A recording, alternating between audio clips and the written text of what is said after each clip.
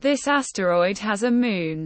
The robot spacecraft Galileo en route to Jupiter in 1993 encountered and photographed two asteroids during its long interplanetary voyage.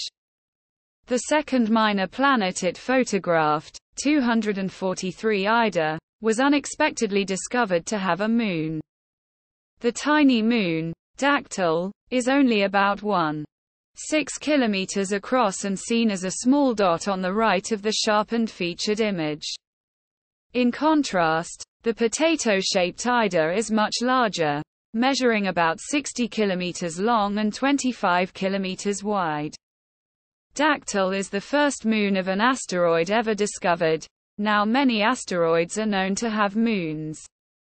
The names Ida and Dactyl are from Greek mythology.